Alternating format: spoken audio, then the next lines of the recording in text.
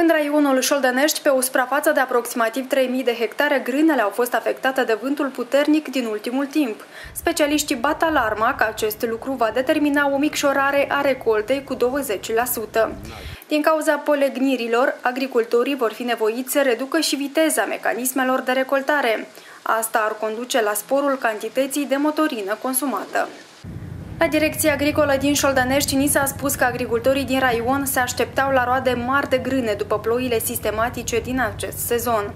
Bucuria lor a fost însă dată peste cap. Furtunile și aversele au pitulat grâul la pământ. Chiar dacă polegnirile au afectat porțiuni mici din toată suprafața cu grâu, recoltarea roade este îngreunată.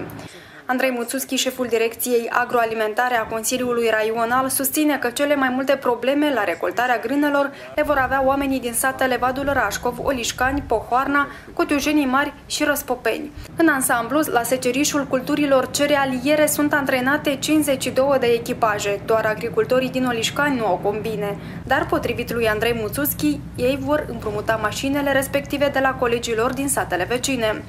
O altă problemă cu care se confruntă liderii agricoli din teritoriu este și prețul mic de comercializare a grâului.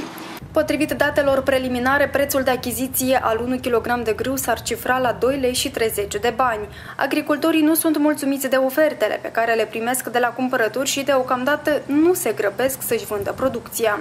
La Direcția Agricolă Șoldănești am fost informați că gospodarii din raion au strâns roada de rapiță de pe 60% din toată suprafața, orjul de pe mai bine de 80% din suprafață. Grâul de toamnă a fost cultivat pe o suprafață totală de aproximativ 7,5 mii hectare.